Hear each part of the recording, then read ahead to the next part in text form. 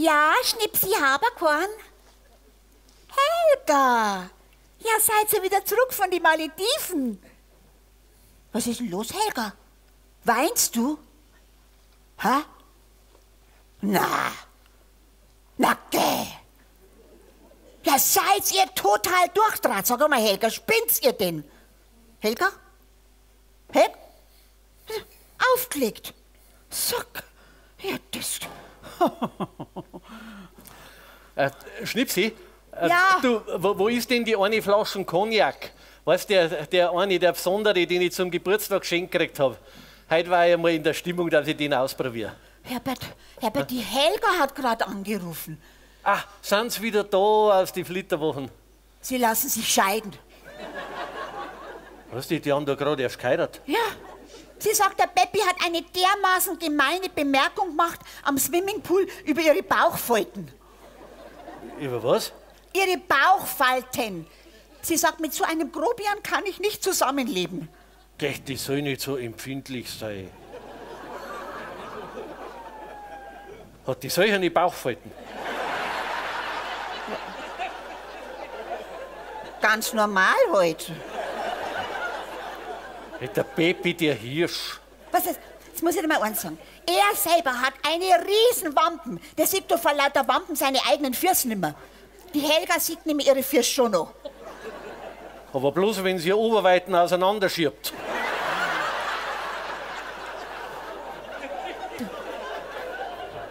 Das ist nicht lustig. Die, die spielen doch zuerst eine riesen Hochzeit. Ich Depp macht ihnen nur einen Trauzeugen. Ja. Herbert, Herbert, und unser Hochzeitsgeschenk? Du, wir haben denen zur Hochzeit 250 Euro geschenkt. Genau. Ja, wenn die sich nach 14 Tagen wieder scheiden lassen, dann will ich unser Geld zurück. Das habe ich mir auch gerade gedacht. Gell? Da, da rufen wir jetzt an. Das verlangst du zurück. Äh, der- Ich meine, das kann man jetzt doch nicht so direkt machen. Das kann man schon machen. Das Geld war zweckgebunden, als Start für die Ehe. Ja, gestartet sind sie ja. Äh, Jetzt hat sie es halt aus der Kurven getragen. Jetzt- Komm jetzt. Herrschaft, jetzt kann die wirklich einen Cognac brauchen. Wo ist denn der? Gut, dann ruf ich jetzt an.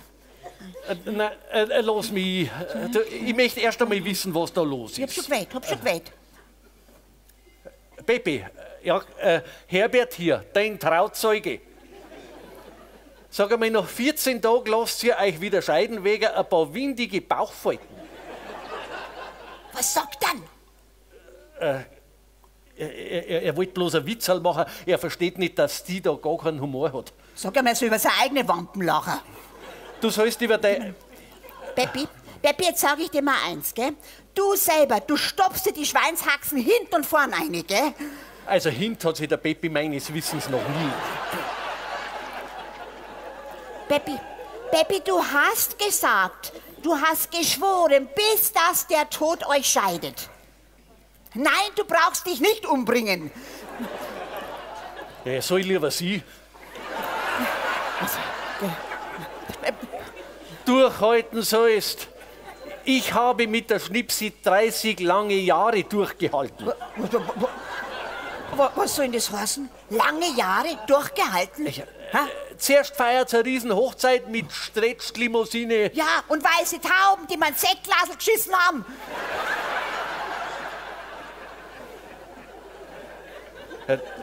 Also, du weißt, du weißt, wie die Schnipsi und ich uns da reingehängt haben, Ja. gell? Menschlich und auch. äh, Finanziell, sag's heute einmal jetzt. Ich, ich habe in der Kirche für euch O Happy Day gesungen, Furchtbar, furchtbar.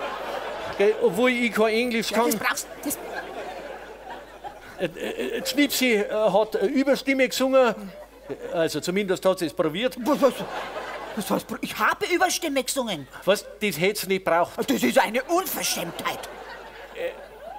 Anderthalb Stunden lang habe ich eure Brautschuhe versteigert. Zum Deppen hast du dich gemacht. Äh, äh, Ein ganz Witzbüchel habe ich braucht dazu. Äh, Jetzt, jetzt pass aber auf, was du sagst. Was sagt denn? Äh, Eine Viertelstunde hätte auch gelangt. Also der. Verlang das Geld zurück, gib mir mal. Äh, äh, Das kann man doch Jetzt jetzt nicht machen. Äh, Herrschaft, jetzt lass doch mich. Hallo? Pe Hallo? Hast du aufgelegt? Ich, ich rufe ihn schon zurück dann. Schnipsi, jetzt hör mal mit dem Geld auf. Ich will nicht, dass wir so kleinlich dastehen. Du, ich bin nicht kleinlich. Aber wenn die sich wegen ein paar Bauchfalten nach 14 Tagen wieder scheiden lassen, dann will ich unsere 250 Euro zurückhaben. Die werden sie jetzt schon ausgeben haben auf die Malediven. Malediven. Wir sind damals bei unserer Hochzeit mit dem Radl an Waginger See geradelt. Verstehst du das? Ja. Bei strömendem Regen. Zeltet haben wir im Ein-Mann-Zelt. Das war unsere ganze Hochzeitsreise. Na, wir sind doch dann auch noch mit dem Regenschirm von Waging nach Altötting gegangen. Wunderbar. Sag ich dir mal eins.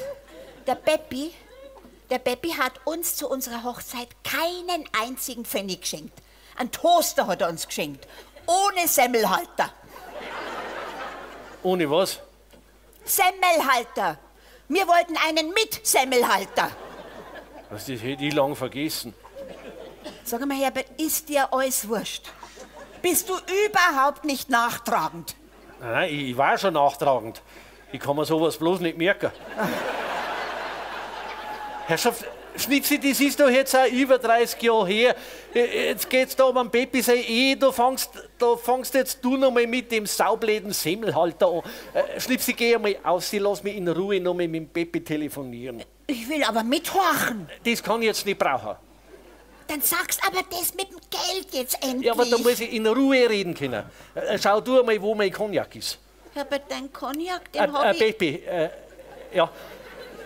Äh, ja, jetzt hätten wir selber beinahe einen kleinen äh, Konflikt. Äh, hä? Oh mei. Die Helga hat sich in der Speis eingesperrt und weint und frisst. Du, Baby, wenn's die Speis leer gefressen hat, kommt's schon wieder raus. Oh mei. Ja, du, äh, Frauen sind einfach nachtragend. Egal, ob es da um Bauchfalten geht oder um einen Semmelhalter. Um einen Semmelhalter. Äh, ist wurscht. Weißt Baby, jedenfalls müssen wir in so eine, einer Lage die Gescheitern sein. Wir Männer. Gell? Ja, auch wenn die Helga schuld ist. Du, bei uns ist auch immer die Schnipsi schuld. Was bin ich? Äh, also fast immer. Wa was? Du, eine Ehe ist keine Wellness-Oase. Das ist ein, ein dauernder Kraftakt, ein, eine unermüdliche Anstrengung, ein- eine Sisyphus-Arbeit. Die Ehe mit mir ist eine Anstrengung, Liebste sei stark, ich telefoniere. eine Pfiffius-Arbeit. Normalerweise nicht, aber manchmal schon. Wann manchmal? Herrschaft, äh, Moment, Baby. Jetzt zum Beispiel. Also jetzt ist es für mich gerade schon sehr anstrengend. Du liebst mich doch auch nicht nur ständig ununterbrochen. Jetzt zum Beispiel schaust du gerade gar nicht so aus. Schau mir eine in den Spiegel. Äh, äh, Schnipsi, wir können gleich weiter streiten. Merk dir, wo wir waren. Oh, das ist... Das doch... ich glaube, ich spinne. Jetzt bin ich. Also, äh, genau, eins wollte ich dir noch sagen, äh, Baby. In unserem Alter, da muss man doch immer vor Augen haben, wer pflegt uns einmal. Was? Das, Gell? Gell? Das hast du dir auch schon. Genau, wer ist dann einmal da? so, jetzt reicht's. Ich verlasse dich. Weg. Was? Bei, bei dem Sau wieder? Äh, äh, äh, Baby, ich rufe zurück, wenn ich Schnipsi wieder eingefangen habe. Schnipsi, wir, wir, wir wollten doch gerade noch weiter streiten. Was wolltest du mir noch um die Ohren hauen? Ich bin also deine Altenpflegerin. Nein, Du bleibst bei mir, damit ich dich pflege. gegenseitig. Äh, Also ich bin doch auch dein Altenpfleger. Ich will keinen Altenpfleger. Äh, Das sagst du jetzt. Aber lass was sein, dann, dann bin ich da. Dann, dann, dann koche ich dir dein Breili. Ich will keine Breile.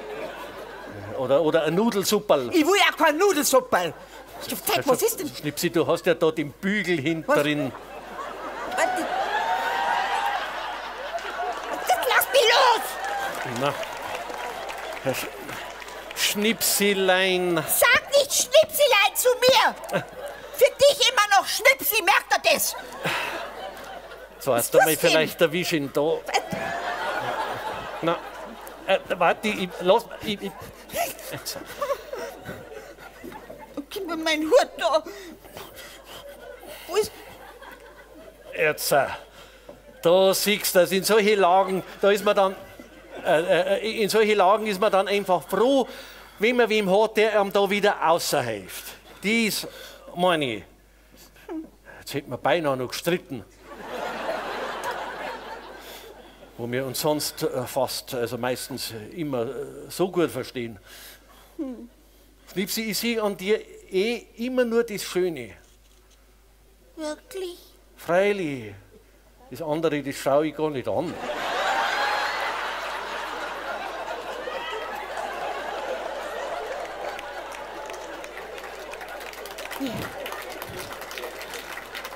Wie meinst du das, das andere? Was schaust du nicht an? Das andere halt. Welches andere halt? Was ist an mir nicht sehenswert? Ernsthaft, ich komme mir allmählich vor wie auf einem Minenfeld. Andauernd tappe ich wieder irgendwo eine. Ich versuche doch nur, am Peppi seine Ehe zu retten. Inzwischen versuche ich, unsere Ehe zu retten. Soll ich noch wem seine Ehe retten? Jetzt war ich gerade dabei. Jetzt gang sie noch arm. Was ist bei euch also los? Außer damit. So, jetzt langt's. Mir reicht's. Was, was hast du vor? Ich verlange jetzt unsere 250 Euro zurück. Leg auf. Geh weg. Peppi, jetzt wollte ich dir mal eins sagen. Wir haben dir das Geld zur Hochzeit geschenkt und nicht zur Scheidung. Und drum will ich es wieder zurückhaben. Und der Herbert auch. Ich nicht. Doch, der Herbert auch. Peppi, ich brauche meinen Teil nicht. Wenn, wenn ihr euch nach 14 Tagen Ehe wegen ein paar Bauchfalten wieder scheiden lasst, dann, dann... Was? Ihr seid wieder zusammen. Was? Die, die sind wieder beieinander. Das sagst du doch bloß, damit du das Geld nicht zurückzahlen musst. Spinnst Bin ja du? nicht blöd, oder? Äh, Baby, hab's hier die Kurven wieder gekriegt, hä? Oh mei, jetzt, jetzt sitzen sie zu zweit in der Speise und weinen. Du, äh, Baby, äh, unter diesen Umständen, äh, da will die Schnipsi das Geld natürlich nicht zurück, gell, Schnipsi? Äh, äh, wenn, wenn so ist, da freut sich die Schnipsi natürlich auch, gell, da, da freust du dich auch. Äh, nein, Baby, du, du solltest das sehen, äh, wie sie sich jetzt freut. Äh, sag sie ihm selber. Peppi, wenn das so ist, dass ihr wirklich zusammenbleibt, dann freue ich mich natürlich auch. Ja, und ihr könnt auch das Geld zu behalten. Ja, ja, die ganzen 300 Euro könnt ihr behalten. Moment einmal. Peppi, du, da waren doch bloß 250 Euro in dem Umschlag. 300 waren da drin. Peppi, wir rufen zurück.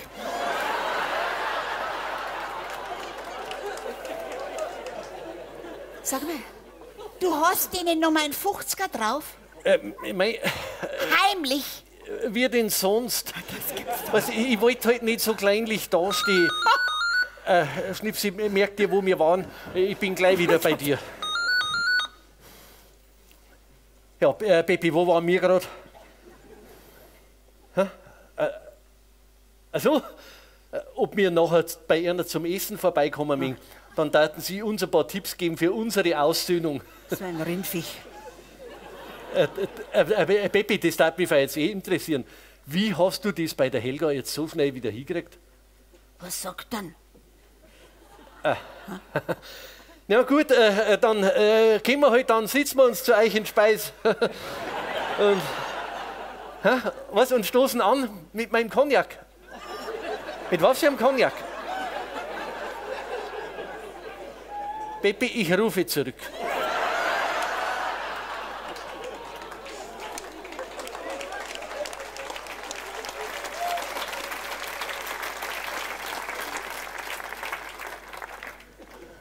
Du hast denen zur Hochzeit meinen Cognac geschenkt.